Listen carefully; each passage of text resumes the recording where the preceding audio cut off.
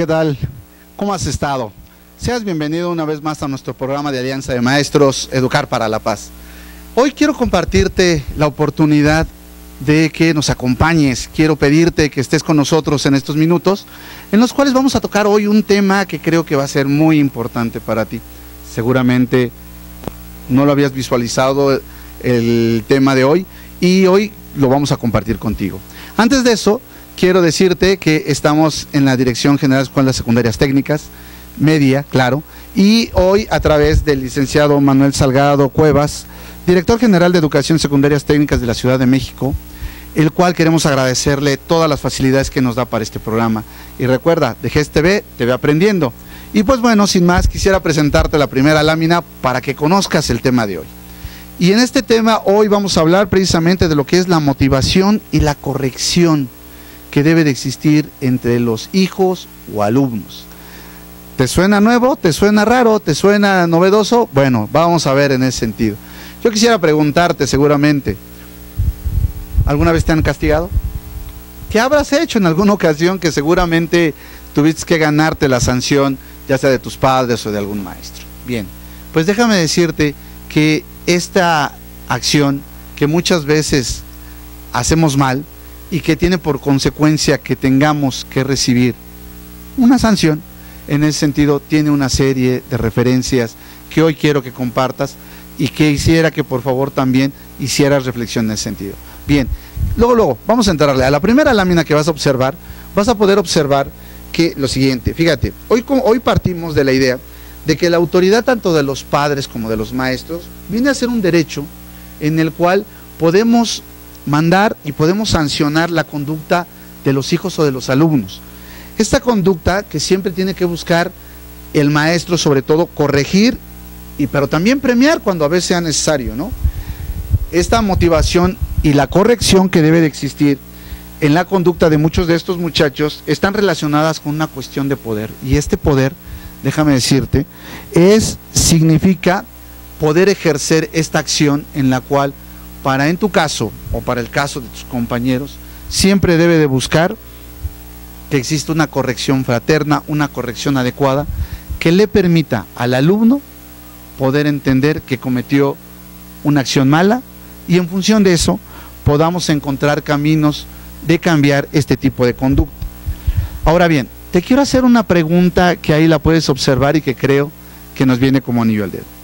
¿Tú qué harías ante un hecho que te afectara? Es decir, ¿qué actitud tendrías que tomar si el día de hoy resulta ser que te encontraste con que un compañero te robó el celular? Uf, un caso difícil, un caso duro. Pero déjame decirte algo. Eh, comúnmente podríamos actuar de distintas maneras pero la realidad es que este tipo de cosas suceden. Y tú a veces podrás decir, oye, es que tal maestro me castigó de manera injusta, es que tal maestro actuó de tal manera que no lo merecía. Y pues bueno, quiero que compartas conmigo la siguiente lámina para que podamos entender algunas cosas bien importantes. Bien, estarás de acuerdo que toda acción que tú realizas puede tener o un premio, si hiciste algo bueno, o también una corrección. Pero hay algo que tienes que tener muy claro, sobre todo en el plano de la corrección. A quien le toca corregir, hay tres elementos que debe de tomar en cuenta. Una capacidad de respuesta, una capacidad en su frustración y el conocimiento y la preparación. Te voy a poner un ejemplo muy simple. ¿Cuántas veces no sentiste que tu papá o tu mamá te regañó de manera injusta? Que a lo mejor hiciste algo que consideraste que no era tan grave y resulta ser que te llevaste el regaño del siglo. Bien, esto tiene una razón. Muchas veces los padres o los maestros, dependiendo de su capacidad de respuesta ante un hecho malo, tienden a reaccionar. Algunos su capacidad de respuesta les puede permitir que reaccionen de una manera tranquila, adecuada, para poder enfrentar y dar una solución. Hay otros que van a reaccionar de una manera mucho más eh, exaltada en ese sentido.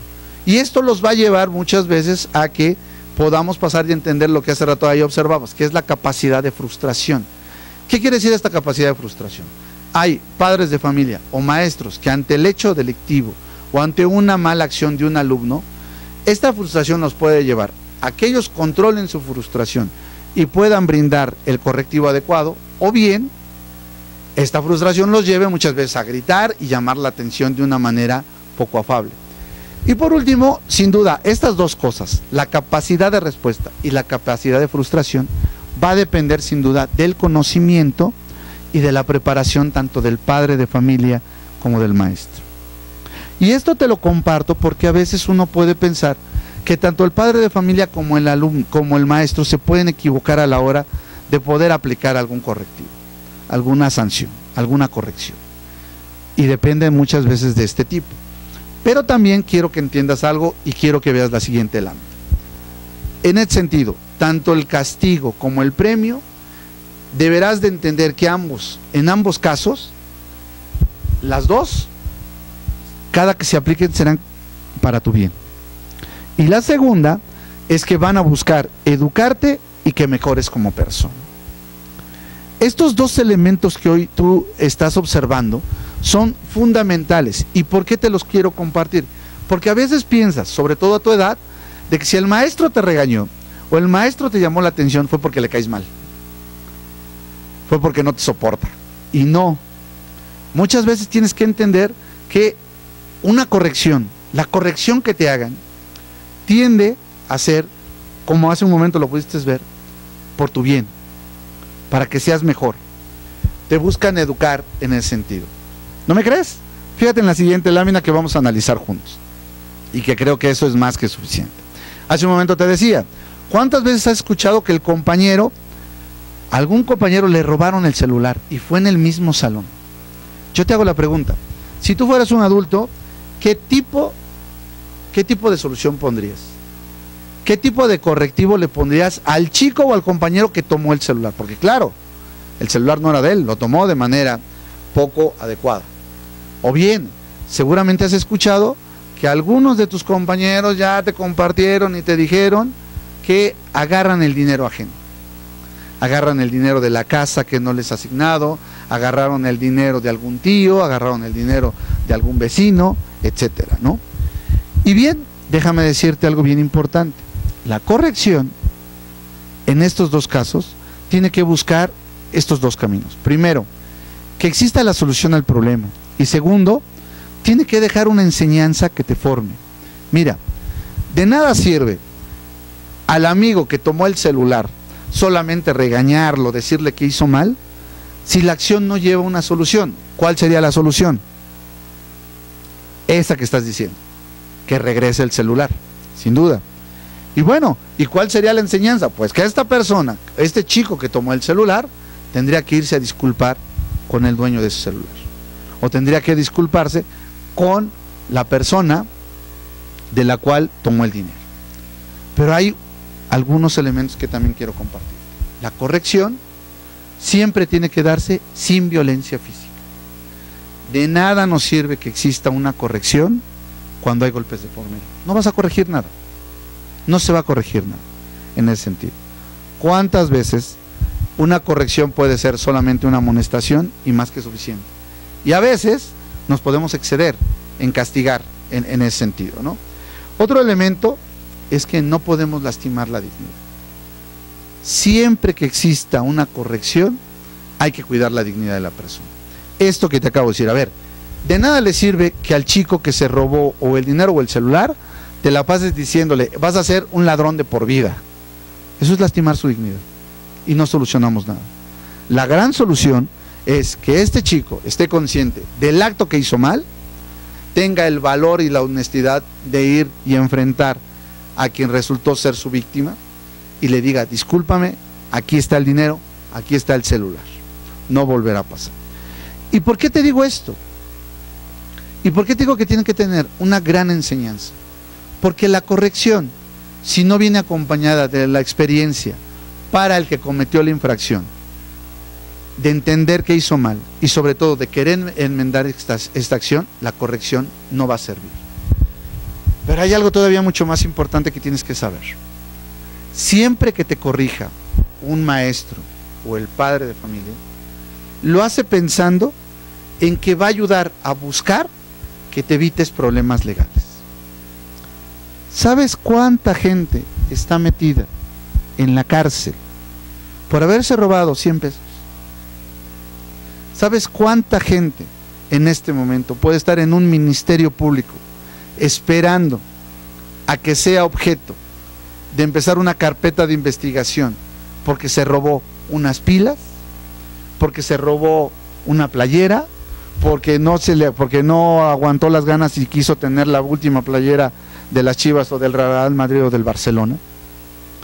Siempre que existe una corrección por parte de tus maestros, por parte de tus padres de familia, ellos van a buscar que tengas la experiencia de evitar una sanción ya no solamente social o educativa, una sanción incluso de carácter legal.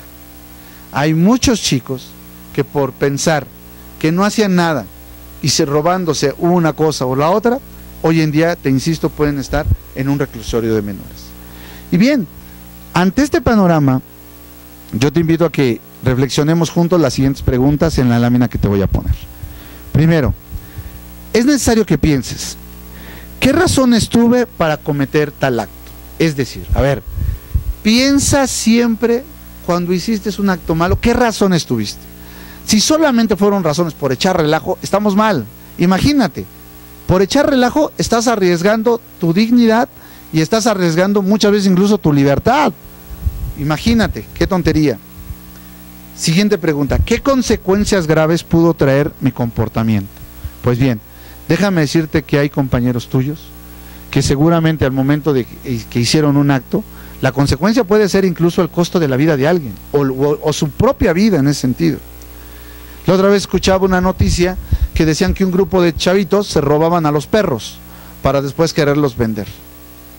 Bueno, pues eso es robo. Y el robo también es, un, es objeto de ser sancionado penalmente. Imagínate estos chicos por andar jugando a quererse llevar a los perritos, imagínate terminando en la cárcel. Otra pregunta es que también tienes que pensar que cuando obras mal, no solo te fallas a ti, le fallas a tus padres, le fallas a tus hermanos, le fallas a tus amigos, les fallas a tus maestros en ese sentido. Y eso ni tú te lo puedes permitir en ese sentido. ¿Cómo puedo enmendar mi error y demostrarlo? Mira, cada que hacemos un acto malo tenemos que enmendar nuestro error. ¿Por qué? Porque eso es parte de hacernos responsables. Responsabilidad quiere decir la capacidad que tienes de responder ante tus actos. Y cuanto y más si ese acto ha afectado a terceros. Entonces, además de responder con tus actos, deberás de tener una sanción a la altura de lo que hiciste para que de esa manera puedas verdaderamente resarcir el daño y sobre todo crecer como hombre, crecer como mujer. Eres responsable de tus actos. Es una gran oportunidad de crecer y madurar. Mira, no basta solamente decir, ay, pues cometí tal acto y ahora resulta que me escondo. No, no. Y te voy a explicar por qué. Porque la persona que se la pasa escondiéndose de enfrentar sus responsabilidades, tarde o temprano, esta responsabilidad lo van a alcanzar. Y muchas veces terminan tras las rejas. Ahora bien, si ves la siguiente lámina, vas a poder observar que también tenemos que hablar de premios.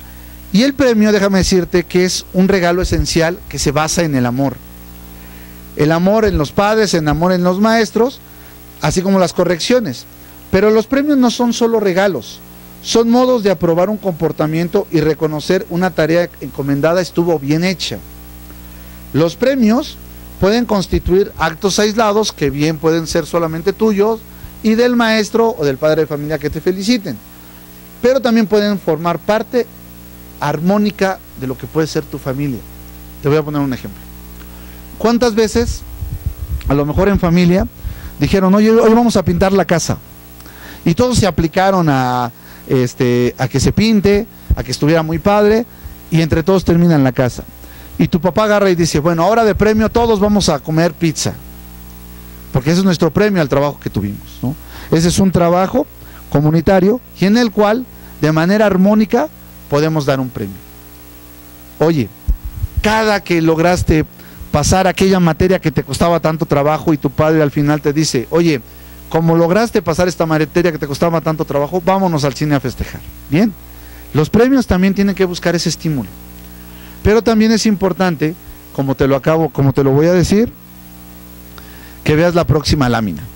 Y en esta próxima lámina vas a ver que el premio tiene que ser equitativo. A ver, ya sé que muchas veces podrás decir, oye, es que premian más a mi hermano que a mi, que, a mi hermana o a mí. Bien, puede ser que tenga razón. Y si es cierto, el brindar un premio tiene que ser de manera equitativa. Pero déjame decirte algo, tú también puedes premiar a tus padres, no solamente siempre a mamá o no solamente siempre a papá. Puedes hacerlo de manera equitativa para ambos. Bien, este premio también debe tener sobriedad. ¿A qué me refiero? ¿Cuántas veces le has dicho muy en serio a tu hermano cuando terminó la preparatoria? Oye hermano, felicidades, te quiero mucho. Eso es hablar con sobriedad. Es hablar con una gran seriedad, de tal manera que a, que a quien no le va a agradar, quien no le va a gustar, que le digan que lo aprecian y que lo felicitan en ese sentido. Tú puedes ser parte de este gran movimiento para empezarlo a hacer. Ahora bien, también el premio implica valorar de quién te lo da y cuidar no solamente el recibir. ¿Cuántas veces tus padres te han felicitado, te han premiado por haber hecho un buen trabajo? ¿Se los agradeciste? ¿Les diste el valor de quien te lo dio en ese sentido? Y claro que ahí necesitamos que no dejes de agradecer a tus padres los grandes premios que han ido generando a través del tiempo para ti. Ahora bien, hay que aprender a agradecer y tenemos que darle un reconocimiento a las personas. A ver, el papá que todos los días llega a tu casa, cansado, molido, por el tráfico, por los problemas de la oficina, por la dinámica propia del trabajo, también hay que premiarlo. Y a, veces, y muchas de las veces, el premiar puede ser tan solo un agradecimiento. Papá, gracias porque nos has traído la comida, gracias porque nos brindas el sustento, papá, gracias porque puedo estudiar mientras tú trabajas, etcétera. Esos son de los grandes, de los grandes premios que también tenemos que aprender a dar y a dar en grande en ese sentido. Pero esto no solamente queda ahí. Quiero que veas la siguiente lámina en ese contexto. Y quiero que descubramos juntos esta frase que a mí en lo particular me encanta. Fíjate.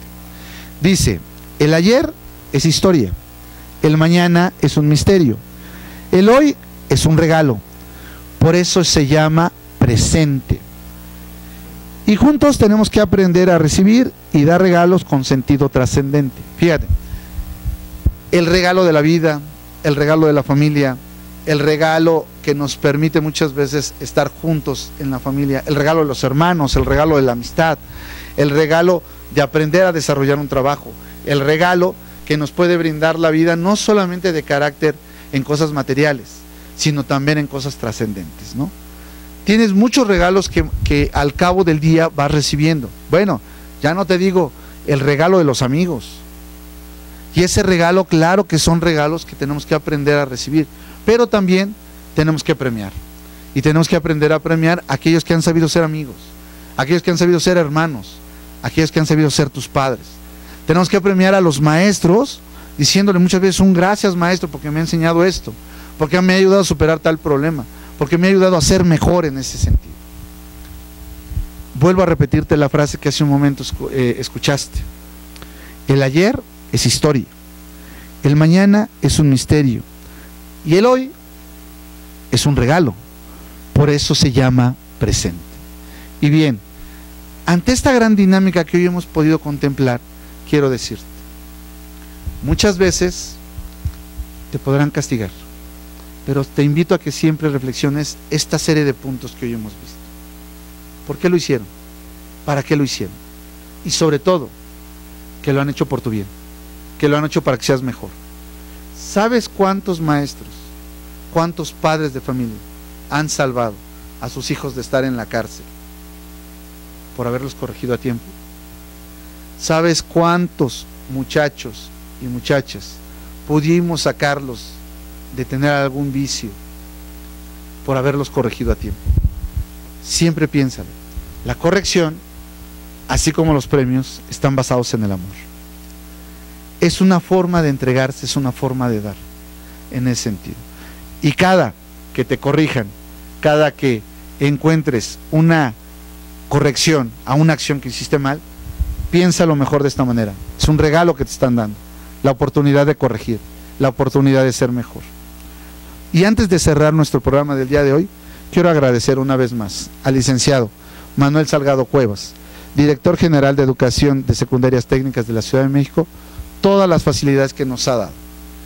Así también quiero agradecer al equipo de DGETS TV por todo el apoyo que nos dan en cada emisión, en cada programa, para que podamos llegar contigo. Hoy hablamos sobre la corrección y los premios. Siempre piénsalo. Y con esto quiero volver a cerrar. Una corrección a tiempo puede ser un gran regalo de vida para ti. El ayer es historia. El mañana es un misterio. El hoy es un regalo. Por eso se llama presente. Disfruta tu presente, disfruta tus regalos, premia a aquellos que lo merecen en tu vida y sobre todo, sigue dejando tu huella. Nos vemos hasta la próxima.